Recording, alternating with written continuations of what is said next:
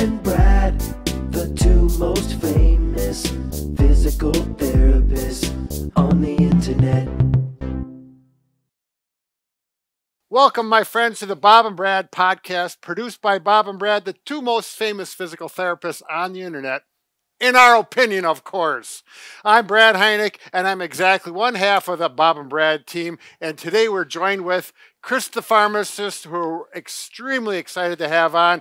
He is one of the smartest pharmacists there is. I think he should be a doctor, actually, because he no. really cares about people and he does excessive research on these topics, and it's all updated. So we're happy to have him. And we're today the the uh, name of the video, the topic is Control Your Asthma with the Best At Home Treatment to Stay Active and Reduce Your Medication Intake.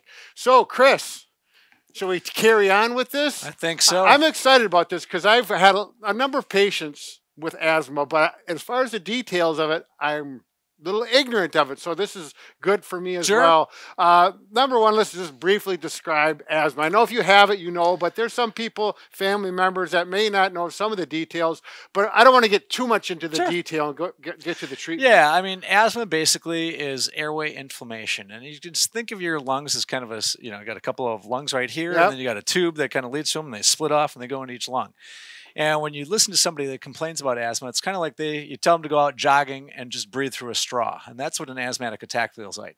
And what asthma truly is by definition is airway inflammation. And so what happens is is that the airways, think of it as just kind of a giant straw, yeah. gets swollen and also it gets excessive amounts of mucus in there mm. and so it clogs it up and you just can't get air going in there. And what's natural like if we're going up a flight of stairs or if we're exercising to one level or another the airways narrow to force air into the lungs to connect to the blood you know to get into your bloodstream to give oxygen to your body so you can supply it to the muscles. So these airways are, are inflamed or getting swollen up so the, the passages are smaller correct. and then we exercise and we need more air so, so yeah, so the natural progression is it does, yeah. and so and and your body thinks, well, oh my god, and you know, asthma is caused by triggers. So it can be, you know, you can have allergens, so things like dust or pollen, okay. those types of things. Cat dander, dog dander, you know, just these are the common mold. Things? Yeah, these are all triggers. Air okay. pollution. Um, so if you have cold air, cold air is a trigger, but that works a little bit differently. But it's still a trigger because it. What about exercise induced exercise induced asthma is actually brought on. And again you know kind of like with that example we're walking up the stairs and our bodies need a little bit more oxygen to supply to the sure. muscles. Well when we begin to exercise whether we're lifting weights or you know most people maybe hit the treadmill or ride a bike mm-hmm. you know the heart rate gets up and you know the demands for oxygen in our body we need it. So the natural progression is is those airways are going to naturally narrow to try and force oxygen into the lungs sure. to get that exchange.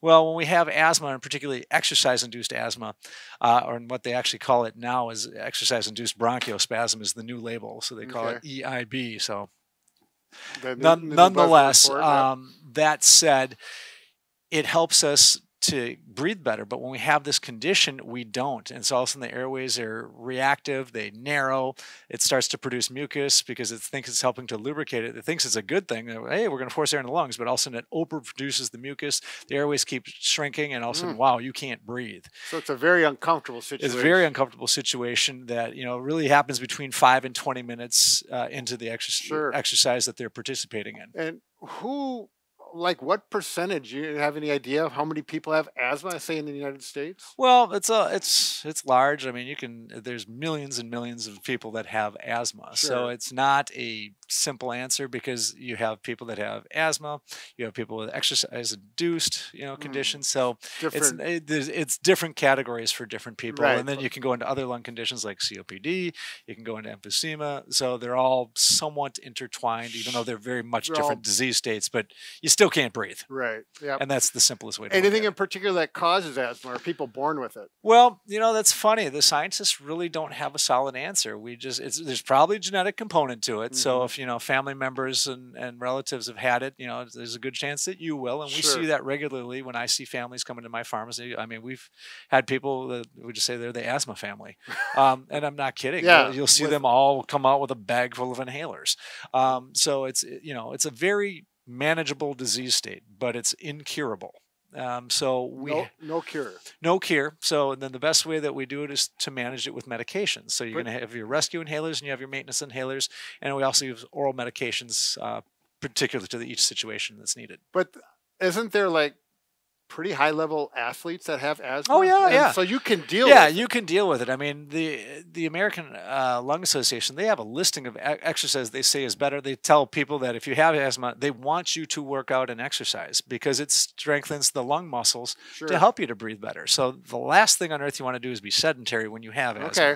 Right. Um, and so you would use inhalers and medication therapy that you would have planned with your doctor Right. to allow you to enjoy your day-to-day activities. You know, a lot of times too with asthma, you just have to know to pace yourself. Um, so that's the one thing is, Mm. you know, but there's like I said, burst sports, so football, baseball, downhill skiing, you know, versus say running, triathlons, cross country skiing, ice hockey, soccer. Those things are a little bit tougher on the asthmatic, but there's no reason on earth why you can't do them. Okay. Uh, let's look at Paula Radcliffe. She's the women's uh, world record holder in the marathon. In 2015, she just blew it out of the water. She grew up as an asthmatic, and she didn't look at it as a weakness at all. She said, if anything, it made me stronger. Oh, So tough gal, impressive. and she's not the look only look her up. one. No, Yeah. there no there are a ton. You can go across the sport. My both my kids had exercise induced. So I mean, it's I mean it's Yeah, and they and both then- play hockey. right. So as well as other, you know, your son's a tri-sport. yeah, yeah, so he plays school. everything, and you know he, he grew out of it. Most kids do. So that's kind Oh, of they the- do. Yeah, I mean it's a long, it's kind of a sidebar, but it's certainly something that I mean, if we want to break down asthma, we could probably do a full-on video. I mean, I think we're working more with the bronchospasm peak Yep, flow meters, yep. but Well, as you get older, in general, does asthma get worse, stay the same, or depends on how you manage it? it depends on how you manage it. So I mean, so the what we have here is, is going to be we, we've got a device here that we're going to talk about in yep, detail. peak flow meter. Yep. Um, anything else as far as diet or anything of that nature? Does that influence it? No, I mean, I, there's not really. I mean, it's going to be external influences. I mean, cold air can cause bronchospasm Mhm. because when we breathe dry, cold air, um, our lungs don't like it. We like warm, moist air. Sure. So uh, when we breathe, like what we've dealt with recently with this really subcold, you know, subarctic weather, Yeah, we're, we're, we're in Wisconsin, Minnesota. It's been 20 below in the, at night. so yeah, and so when you get hit with that kind of stimulation, your lungs don't dig that at all. So they immediately constrict yeah, to try and keep warm air in there. even with healthy lungs. Yeah, even with healthy lungs. Mhm. But I, and that's why sometimes when you go outside, all of a sudden you get a quick cough, and it's because your lungs aren't happy with that, and so uh, you know it kinda- they want to keep it warm. So if you have an asthmatic, uh, it's going to be a, a even more hyperreactive situation where, you know, so if you know this is going to be the case, and let's say you have to walk to a bus stop or the store or up the corner, you probably should use a rescue inhaler probably 15 minutes before you go outside to protect against that bronchospasm. So you're talking about the medicine that you, Yep, you uh, breathe yep, in. albuterol, levalbuterol. Sure. Yep. Yeah, I, I remember uh, teaching karate. I had students that would have that, and they'd keep it right there in the room. Oh yeah, yeah. As long as you use it about 15 minutes prior to activity, it's it's going to take care of business. And it's going to ensure that you can have an enjoyable time. And you know, just like anybody, you know, when you have exercise-induced bronchospasm or cold air-induced bronchospasm, I mean, as long as you're prepared for it and we manage it, we pace ourselves when we warm up. I mean, it is a very livable disease. Oh, Um, but nonetheless, to circle back to your initial question, it's not curable. It's forever, and Yep. and it's all about disease state management. so uh, let's get to that. How, how do you manage it? And I know we talked about this prior, uh, and you talked about a device like this. Yep, peak flow can, meter. can really make a difference on someone's management and Exactly. to be able to do what they want, be active. But at the same time, you said it's not very well promoted by doctors, at least in your experience. In my experience, I think this is probably the under most underused you know tool in the shed. These things are cool. Uh, basically, what these are is just a little meter, and it allows you to see ranges of what your forced expiratory volume is. And most pulmonologists, when they get down to the nitty gritty, they're going to have you come in and use a spirometer, which is a very much more specific version of this, where they're going to give you a really precise measurement. Yeah. And so, but this anybody can do at home. You can buy it right off the shelf. You can buy it online. Uh, I think this was at the pharmacy where I got. Right, So, I mean, it it's- was twenty-two dollars, yeah, so not horribly expensive, and that comes with a box too. comes with a box and has chart and instructions, the whole nine Yeah, yards.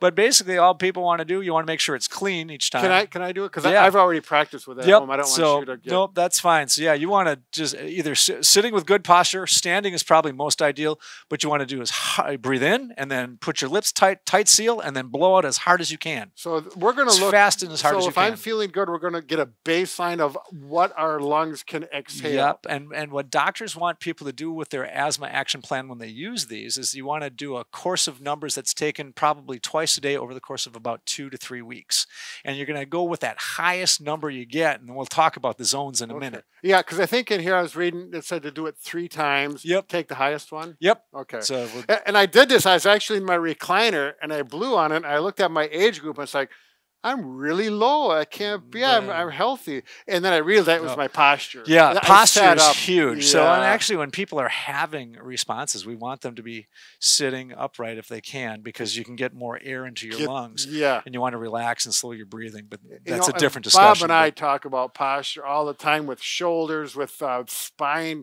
you know, uh, problems. And here, posture with breathing is, ex- you know, It's- it is. And, here's proof in the pudding. Should I try this one? yeah, yeah, give it a whirl. Okay, Either so- sit upright or, So or stand. Yep. get as much in as Yeah, you want to take a deep breath, and then you want to lock it and blow as hard as you can. Go. Okay. And that's a common response, guys. It, it will. That's uh, okay. Yeah, it I is didn't okay. do it too hard. No, because you no, you want to blow as hard as you can, and, and actually, somebody with asthma probably will have a little bit of coughing afterwards. Okay. Ideally, you want to do it before you use your daily inhalers because it'll kind of give you a baseline, Ah, so you know really where you stand. Um, and then you can actually do it, and some doctors will actually recommend where you are after your inhalers, so you kind of have an idea of what each one is. Right. But I would tell you, it's best. The best values you're going to get is before your inhaler, and so you'd want to do it in the morning. And then again in the evening, and you know your peak flow values are going to value. You're going to up and down throughout the day too. So So this is pretty close to where I was at home. I'm about 625 or so. And when I was sitting, I was down to about 450. And I was slouched a little bit because of the recliner. And, Yep. and then I, I did this. And, and all of a I- I like was another just about another the two. Yeah, it's Yeah. amazing what the difference is. So we should do three of those in a row. We don't have to do it now, but if you're using it three in a row and then pick the highest number. Yep. And so Can, you- can you see that, Liz? We'll kind of zoom in. we'll kind of put that up. Now so- we've got a, this is a pretty uh, technical chart here. Oh yes, my artwork at its finest. The way that they calculate out the green zone is where we all strive to be. So if your medications are working well and you're feeling good, when you have an asthma plan written with your doctor, this is where you want to be. and that's going to be, you, Yep. you can figure that out on there. And there's Yep. a little Then we're going to marker. yeah, so we're going to pretend that that 650 is where Brad is, and then we want to go basically 20% less of that. And so it's so you rough. do a little math. To Yeah, you that. do a little bit of math. You can use a calculator. And what's really kind of cool about most of these, actually, if you guys have smartphones, you can go right online and you can download it to your smartphone. Or a lot of these will have a chart for you. So yeah, for old school like me, that probably use yep, paper but chart. but they all work. But basically, this is the goal. So if your maintenance medications are working well and your rescue inhalers are working well, this is where we want to be all the time if we can be. so you do your three breaths, look Yep. at the chart, and if you're in there, it's good. Yep. But then let's say, you know, oftentimes, and what's so cool about using peak flow meters to actually see how your breathing is doing is oftentimes there are subtle signs that you don't even feel yourself. And all of a sudden you're like, you, you blow on it when you get up. signs of Just you you can't feel that your breathing is diminished. You still think you're in the green zone. And you're like, man, I just blew a yellow. Uh, so. and, and it- so now we're down here. So instead of of like me being 625, I might be down in yeah, 500 so yeah, let's all of a sudden you're like 400, and, you know, 490 or something like that, and all of a and I so you're feel the- fine. but you feel fine. So when we use this on a daily basis, it's a tool. And a lot of times doctors and pulmonologists will give people written plans as to how do we adjust our medications accordingly so we can get back up here. We Yeah. want to live up here. This Mm. is this is our home. This is our happy place. So when we get here and particularly when we get to the red zone, this is a medical attention immediately. So there should be when you, you go to when the you doctor, go to the doctor or, you go to the or you go to the ER. Yeah. So when you get to the red zone, that means your rescue inhaler is not working. Uh, just anything that you know you're you're using your maintenance medications, things just aren't working well. sure. This is go to the emergency department or you know call your doctor and say, hey, what do you want me to do? sure. Sometimes they'll have standing orders at pharmacies. They might tell you to use a nebulizer, which is another type of medication. But sure. but at the end of the day, this is crisis zone. This is the last place we want to be. Okay. And when we are not paying attention to our asthma levels, um, you know, this is where the chronic damage can come in, where you can lose Ah. lung functioning permanently. Oh, So asthma management yeah. is a huge thing, and this is a wonderful, wonderful tool. and it's cheap. It's easy to use. for yeah, and you can use it. They last if you take care of it. You just clean it after you use it with warm soapy water. Let Sure. it dry out, um, and actually you want to make sure that you clean it because mucus and just little particles of just you know the exhaust of us breathing, exhaling Yep, sure. will clog it and it may actually not get the best possible answer. So keep it clean, take I, care I of it. I saw they had instructions on cleaning. Yep. Um. So when you get in that yellow zone, you might feel normal, but then that's when you're going to You take can. your inhaler. Yeah, so a lot of times what doctors will do, you have rescue inhalers and you have maintenance inhalers. And sometimes doctors will have a specific plan where you might have a lower dose oral inhaled steroid Mhm. and then all of a sudden, oh, we're creeping to yellow. We're going to raise that dose. And all of a sudden you go to the next highest strength. And so that allows them to hopefully get themselves back. We calm down the inflammation before we get a full blown asthma Yeah. attack. We get ourselves back into the green zone. And it may take a couple of weeks of using your medication Okay. consistently to get to that point. Uh, there's also treatments that doctors will do specifically where they'll put you on oral steroids to really try and drive the bus Sure. and get a quicker response. Yep. Because, like I said, we do not want to live in this zone because this actually can be very detrimental to our long term health and well being. Sure, sure. So, as far as medications that your doctor, the inhalers and things, is there any uh, information that you think people should know? Any precautions or go to? Well, actually, things? yeah. I mean, proper use of an inhaler is huge. So, I mean, it's it's one of those things where, particularly, let's say you have a child patient. Um, a lot of times they can't necessarily. I wish I brought an inhaler with me, um, but they can't necessarily get the timing of the puff. So there's a, Oh. a little plastic tube called a spacer that looks kind of similar to this, but it's fully round, and allows for if you have a child that's like say three or four years old and they're an asthmatic, they can't just normally hold it one inch from their face, time the puff, and inhale it, even with parental guidance. Right. So basically, it's got a mask that covers their mouth and their nose, and then it allows them to get a full puff with their rescue inhaler and or their maintenance inhalers. So it really allows them to deposit that medication into the lung tissue where it needs to be Sure. to help to reduce the inflammation and help them to breathe more comfortably and more effectively. So, if you're just getting into this medication, even if you're an adult, it seems like you have to kind of practice and learn how yeah, to I think it is a learned skill set. It doesn't take terribly long, but you know, people with arthritic hands. I mean, uh, you know, it's just, there's little tips that we'll tell you Mhm. as a pharmacist. Maybe you need to use both hands to try and help, even though it's it's just a little sprayer. But and, and most people can compress it with just a couple of fingers. yep. But you know, arthritis, age, Sure. coordination. I mean, you know, I've had people spray themselves in the eye by mistake on their first time. You're just not used to spraying something, you know. And in the old days, you know, they've changed the propellant because we wanted to make things better in the environment. So they've got a softer spray now, which actually is better for patients because you Ah, can hold it about an inch from your mouth and then inhale it and deposit in your lungs quite effectively. Okay. In the old days, we used to have you put it right in your mouth, but a lot of times it would spray the roof of your mouth and you would you'd swallow more than you'd deposit into your Oh, lungs. Sure. So sure. there is an effective technique for actually providing that as well. Wow. So, you know, I'm thinking about this and, you know, there, there, once you learn how to deal with this, but it amazes me how a marathon runner with this obviously must be in the green most of the time. Oh yeah. Uh, so that's Eh, for those people that want to be active. That's good news. It's like, Oh, yeah, yeah, work no. with this. And boy, it seems like It- it using this could It's- really be a, It's it's a game game changing. changer, It- right. it is a game changer, and it, you know, I'd like it's it's a nice tool that I think is underutilized, and it's something that I really think can be life changing for people, so they stay healthy forever as long as they possibly can. yep, And you know, as I said, we want to stay out of these two zones. We want to stay up here, Yep. and, and this is a tool that will help you to at least take your medications appropriately and effectively with your doctor's plan, and that's critical. especially with that app, especially people are really comfortable with yeah. with you know cell technology Maybe some of the older people not, but I'm amazed at some people that are in their 70s and 80s and they're Oh, they got their phones They're out. sharp as tacks. I mean, I th- a lot of times too, people seem to get intimidated by technology, but it, it's really there to help make things Sure. easier. And with the smartphones and the apps that we have today, it's just nice to have at a moment's notice. You get up, you do you you plug in your values, and you're like, all right, I'm green, I'm good to go. I'm going hiking today. We're eh, going to Hickson. And then there's probably history in there, so when you see your doctor, you can you say, can show them it very quickly. very and it's accurately. an excellent Yep, Yeah. it's an excellent tool for the doctor. You know, the other thing too, when you go to see your doctor, you know, bring your meds with you Yeah, so they can see what you're doing. Even they can actually, hey, I want to see how your technique. How are you doing with your inhaler? Uh, yeah, So they can make sure that they see it effectively Sure. and make sure that it looks like you're getting Yeah. an effective dose. So it's always a good little tip to work with. I mean, your physicians are there to help you. I want you to take advantage of that at all costs because at the end of the day, if we get you out there staying healthy and exercising, it's really one of the most important things we can do. All right, man. I, I'm feeling pretty pumped up about this, Chris. This is, uh, you know, if I happen to have a family member that has this, or you know, I feel a lot more knowledgeable and uh, optimistic about it. Yeah, I, I mean, it really is. Like I said, it's it's unfortunate that we don't have a cure. We just we just don't know how. We don't really Yeah. even know why or how it's caused or how it comes. Other than that, there's a genetic link. Yeah, and that you know we have, you can't breathe. So we have tools with special inhalers, maintenance inhalers, and certain oral medications that we utilize to try and help to keep all this into a package so we can keep people living in that green zone. Now, this is we're at the end of- the video here, and I just this is a personal thing. Can people scuba dive that are asthmatic?